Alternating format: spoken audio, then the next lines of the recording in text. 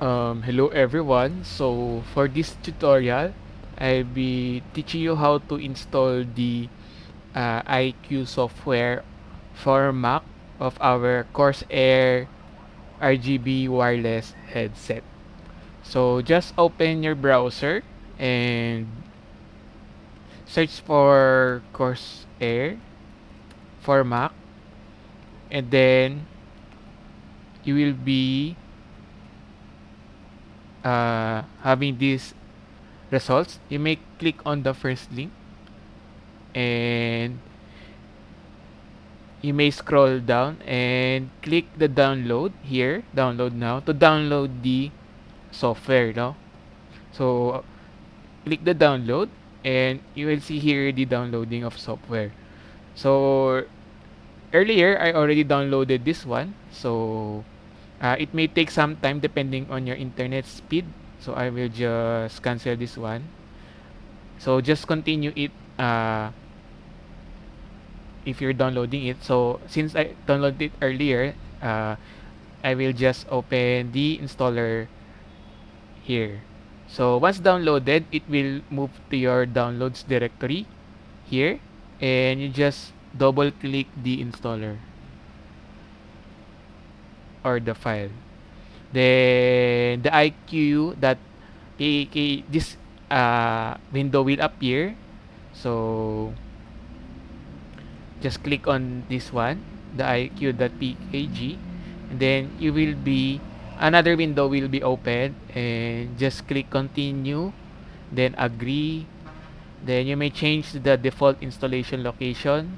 So I will just leave it there. And continue then input your credentials then click install software. So the software will be installed. Just wait for it to finish.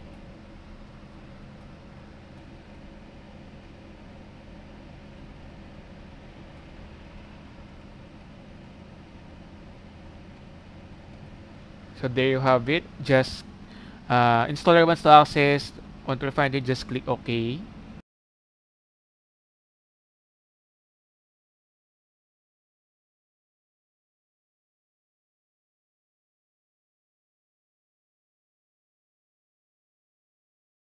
It is already nearly done. So here you can see here the icon already of the IQ application it means uh, the software is already uh, nearly done installing. And just wait for it.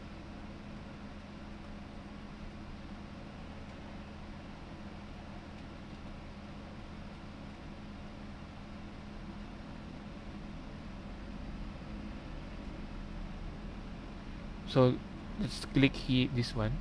Uh, okay nothing's happening. So let's just wait for this one to finish. Yeah yun. So the software is already installed. As you can see the iCUE application already pop up. So let's go back to our installation window first. Yeah, so the installation was successful. Just close. Then do you want to move the iCUE installer to trash? So if you don't need the installer anymore you can move it to trash. Uh, or if you want to keep it just uh, keep it on your uh, device. So the software is already installed. You can close this one this one and this one. So you have here on your desktop the software. Um, just you may leave it there if you like. And if you don't want your desktop to be crowded with such application you just right uh, click it and um, select eject no? So if you select eject it will be out of your desktop.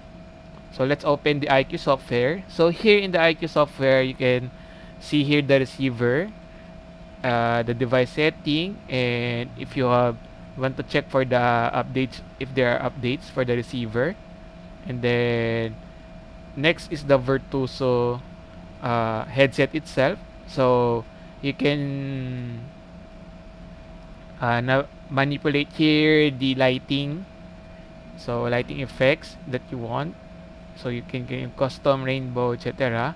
Equalizer. So there's a equalizer here wherein you can uh, select specific settings. Now, if you're playing game, you can select the FPS competition, go back uh, to stereo or use uh, surround sound 7.1 surround. So it depends on you. And then so for I'll be using this one general. So I will use pure direct uh, equalization. Then device settings here you can check again for the updates of the firmware battery level mode of connection. Since we're using the receiver it is wireless. The brightness of the lights on your headset no? So if you turn it uh, down it will turn off to save battery. If you want it uh, to glow so you just uh, turn the color on then sleep mode how many minutes? So you can change this one to 5 for example. And then show battery gauge in the notification area. So if you want to see the uh, the battery here so that's the battery icon of your headset. Then this is the battery of the Mac. So this is the battery of your headset. So to give you some idea kung how many percentage remaining if you don't want that just uh, turn off it here. And to remove. So I'll leave it turned on so I am aware. Though the headset will uh, have a prompt a voice prompt when it is already low in battery. So you will be still notified. So you can turn it off if you want. Then this is the voice prompt no? If you want the, the voice prompt um, gives you messages such as uh, connected, turned off, turned on, low battery, so and then charging, so it will give you voice prompt. If you don't want that, uh, you may close this one. So it's okay for me. And then disable LED uh, mic active. So the Virtuoso RGB has a LED indicator on your mic. If it's turned on, it's color green and color red if not. So you may check on my full unboxing and review video in the other I will link it at the end of this video. So you can turn off the uh, LED or turn it on. So for me, I will turn it on. So you can repair it again to your um, uh, disable. So I will enable it. So by default, it is enabled. So you're aware that if your mic is turned on or turned off. So that's all for the settings. You may explore the other things here as you wish.